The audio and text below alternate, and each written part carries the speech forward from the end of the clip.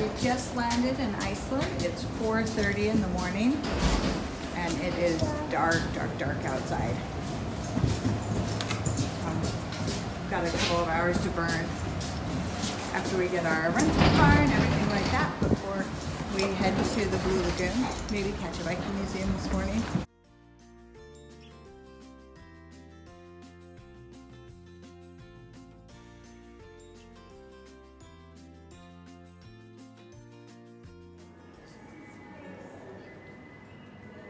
Exploring the Viking Museum near the airport.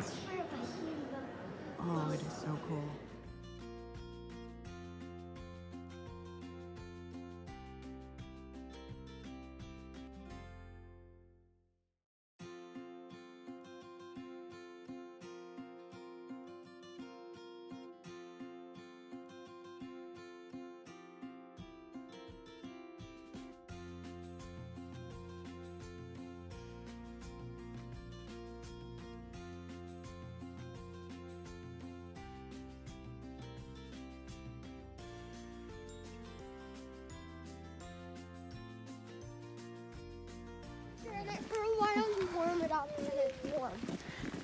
We are heading into Blue Lagoon now.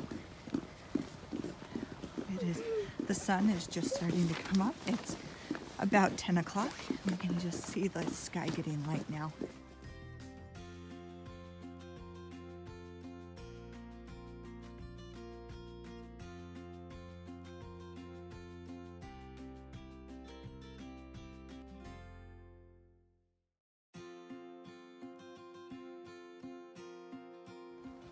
Just finished at Blue Lagoon. Beautiful and warm. And I'm so glad that we were able to go today. It was a good thing to do on our day with jet lag.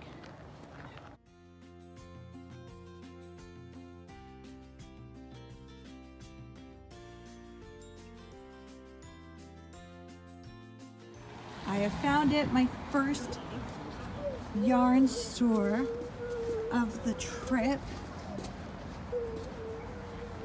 The Hand Knitting Association of Iceland. Let's go in.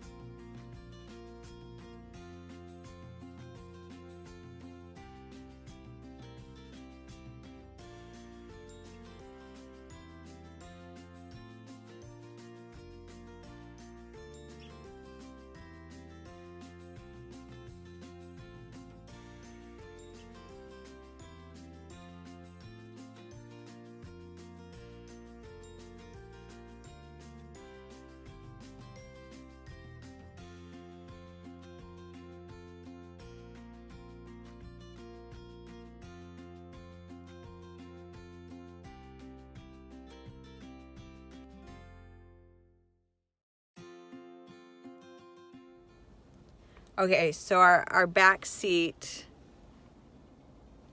we ha- are suffering pretty severely from jet lag back there. Uh, we have finally made it to the town that we're going to be staying in with Airbnb.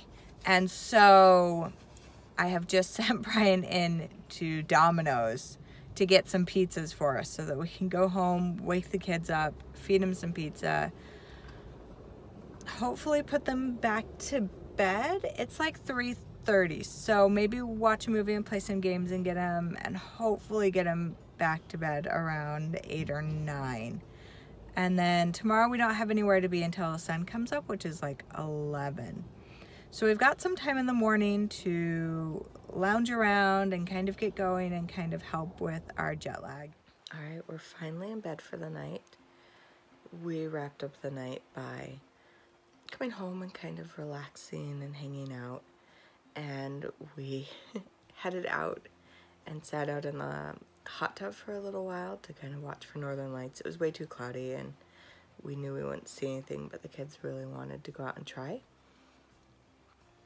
And so I've just come in and we're heading to bed now and hopefully we'll get a good night's sleep and wake up late in the morning, but I'm not counting on it.